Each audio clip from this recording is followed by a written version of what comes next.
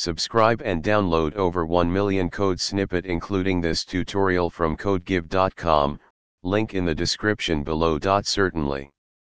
Installing Python packages from a .tar.gz file using pip involves a few simple steps. Below is a step-by-step -step tutorial along with code examples. Firstly, you'll need to download the .tar.gz file of the Python package you want to install.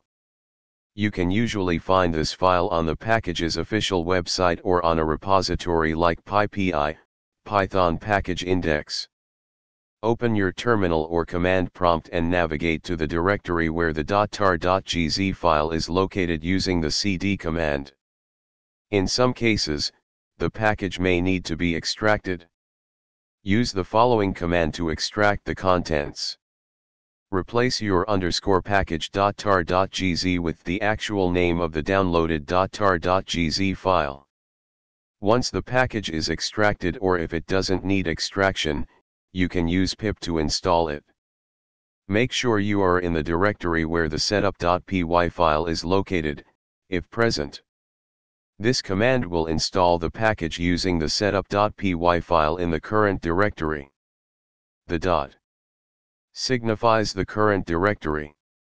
Let's consider an example where you've downloaded a package named example underscore package.tar.gz.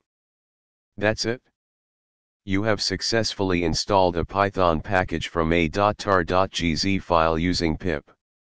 Always verify if the package requires any specific installation instructions by checking its documentation or README file, as installation methods might vary for different packages. ChatGPT